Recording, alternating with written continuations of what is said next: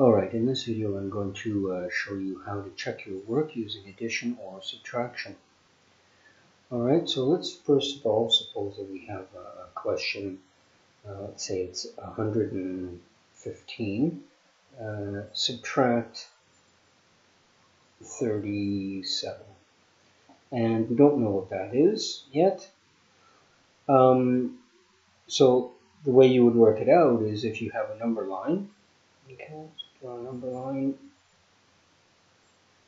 Alright. And there are a couple ways you can do this. You either start at 37 over here and you count up to 115 and then you count uh, the size of your steps.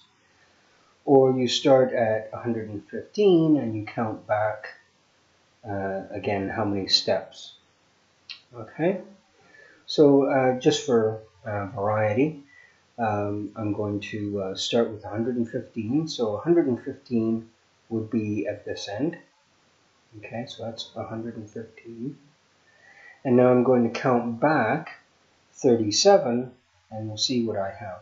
Okay, so um, I like sets of uh, 10, so I'm going to go back in uh, sets of 10. So there's uh, one set of 10. Okay, and 115 take away 10, well, the only digit that's going to change is the middle digit here, because that's in the tens column. So that's going to be, my new answer is going to be 105. Okay, then I count back another set of 10. All right, and again, this digit here is the uh, uh, is going to change, but also this 1 is going to change because that's 10. Basically, you take away another set of 10, that leaves you with 95. Okay.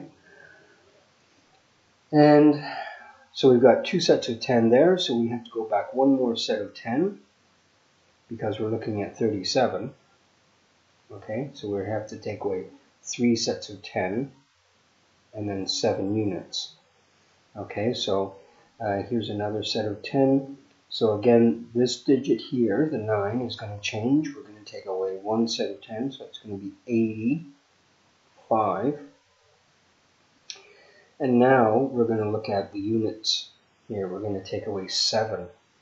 Okay, well 7 is basically 5 plus 2, so I can count back 5, which gives me 80. And then I can count back another 2,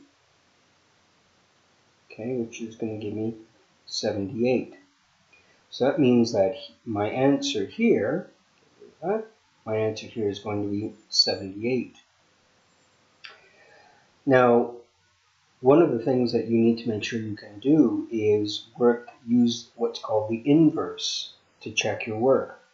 This number statement here is a subtraction question and the inverse is if you basically says that if you are using subtraction in your question, then to check your work, you need to use addition.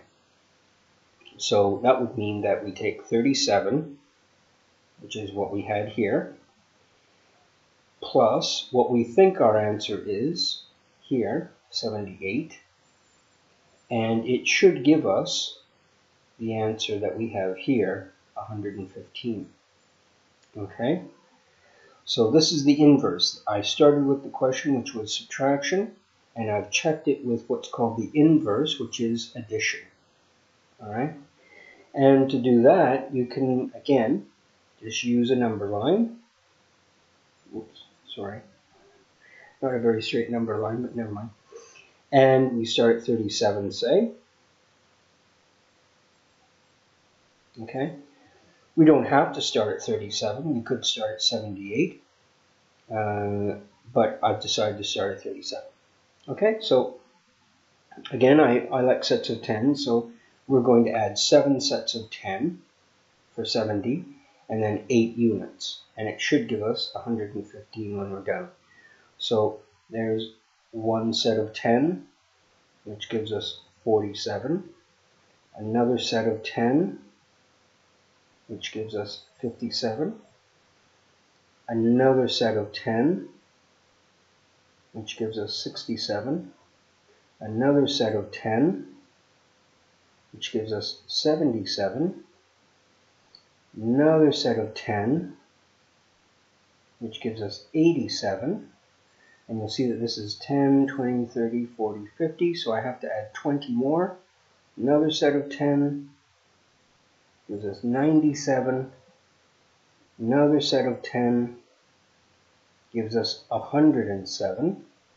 Remember, you look at the tens digits in all these numbers. They're going up by one set of 10. Okay, so we had 90 here. Now we've got 100. Okay, and now we've got the seven sets of 10. 1, 2, 3, 4, 5, 6, 7. Seven sets of 10, which is what we needed here. And now we count up the 8 units. Okay, plus 8 okay, which is going to give us 115. So that means that what we think is the correct answer is actually the correct answer. And that's how you check your work using the opposite or the inverse. So if you have a question which is a subtraction question, you use addition to check. And if you start with a question which is addition, then you use subtraction to check. All right? Good luck.